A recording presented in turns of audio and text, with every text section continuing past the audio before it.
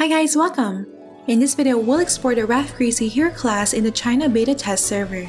We'll test out Rathgricy's performance in PvE instances to determine if this new hero class can effectively serve as solo DPS. While the release date for the SEA, Global, and EU servers has not been officially announced, it is likely to be included in next month's patch update. Alright, without further ado, let's begin. To unlock the new Greasy Hero class, you need to reach the Tier 3 Royal Guard Adventure class and use a job change voucher in the Hero class interface. This voucher can be obtained for free after finishing the Lost Isle or Museum Island Brave instance and completing the Handbook achievement. Before we begin, I'm thrilled to share with you guys this brand new limited animated series called Raid Call of the Arbiter. The show explores the epic journey of champions and a glimpse into the wider world of Raid Shadow Legends. At first, I was a bit skeptical when Raid reached out to me about an animated show, but after watching the first few episodes, I was blown away by how the characters from the game have been brought to life. Not to be a spoiler, but I got hooked with Elhain's story in the latest episode. She's a formidable elven warrior who faces a heart-wrenching dilemma as she finds herself torn between choosing love or her duty. It's truly an emotional roller coaster. Each 6-minute episode are jam-packed with action, excitement, and masterful storytelling that keeps getting better and better. You can watch this incredible series for free within the game with new episodes out every Thursday at 10am EST until July 20. There's already over 7 million views for the first 4 episodes which have critics and players raving about the show. And once you start watching, you'll understand why. To celebrate the arrival of this limited series, Raid is organizing exciting events that both old and new fans of Raid can take part in.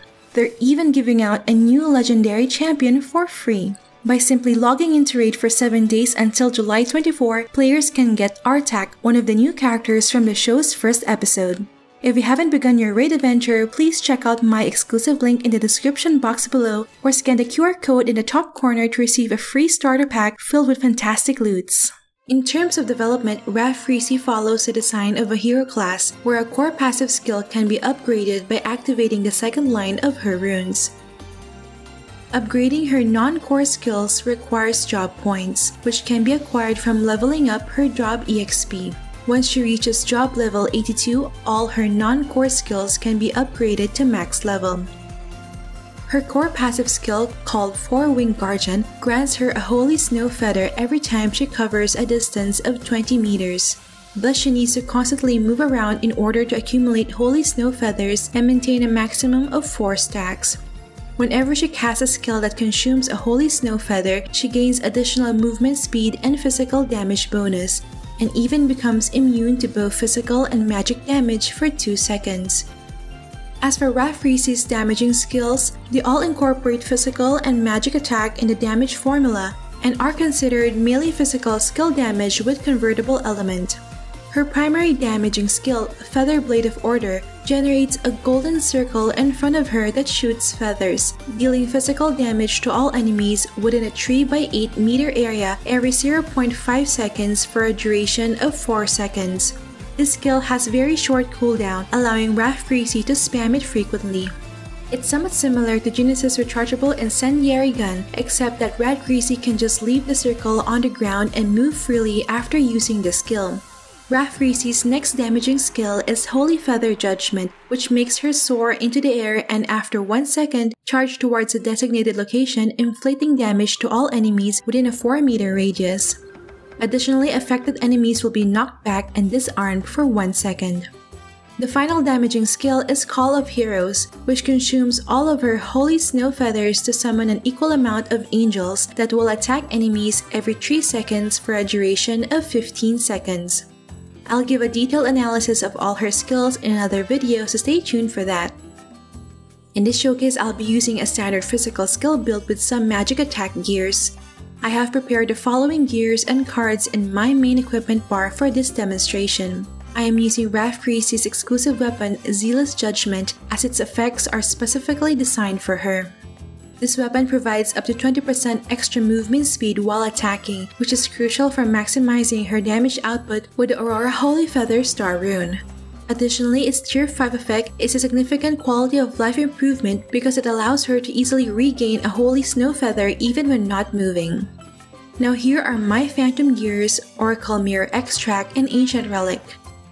As for my stat distribution, I have allocated points on Strength and Int to boost both attack and magic attack, Vit to increase her max HP, and Dex to leverage the benefits of Zenobia card.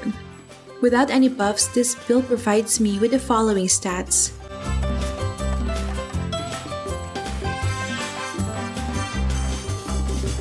I'll be discussing how to build Rathgricy in another video, so stay tuned for that. Now let's put Rathgricy to test.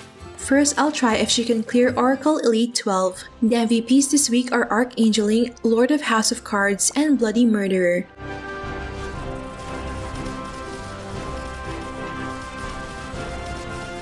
Reese can rapidly clear the normal monster waves with her powerful AoE skill.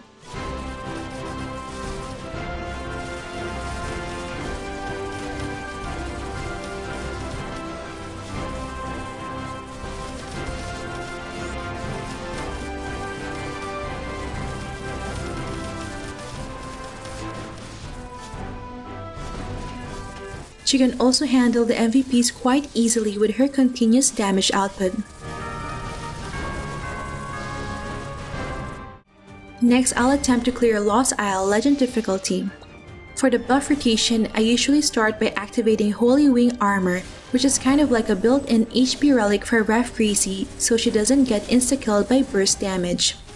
Then I cast Valkyrie for increasing damage and sustain, Command of Charge for enhancing the party's mobility, and Holy Strike to convert my damage to Holy Element and gain additional attack and magic attack percentage.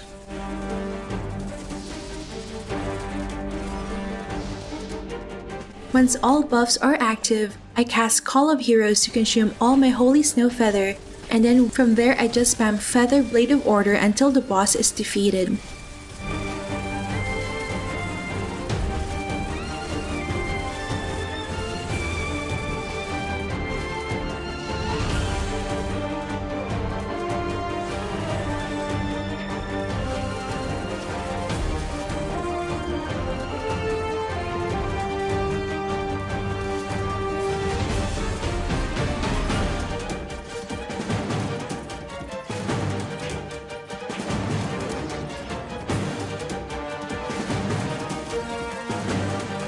Whenever I have two holy snow feathers, I consume one feather to mark the boss with Fire of Arrogance. This will inflict additional burn damage while attacking and also lower the target's damage reduction. Now let's try Ponape Museum Island Legend difficulty.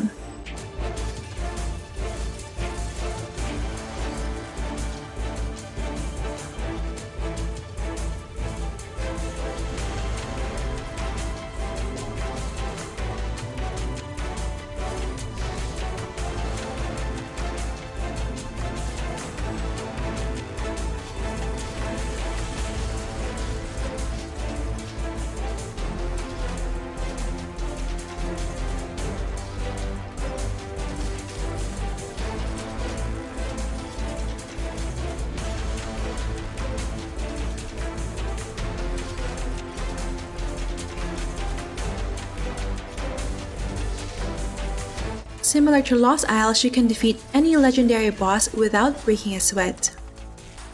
Lastly, let's do the ultimate test and see if she can solo clear the new Ponape Secret Realm instance.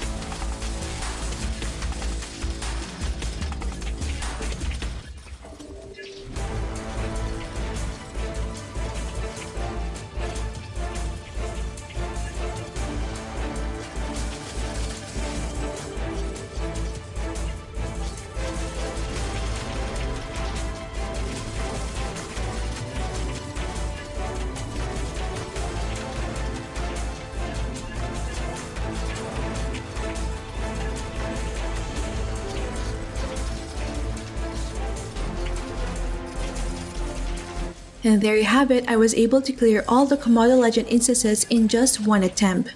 Based on these tests we've done, I can confidently say that she is 100% OP.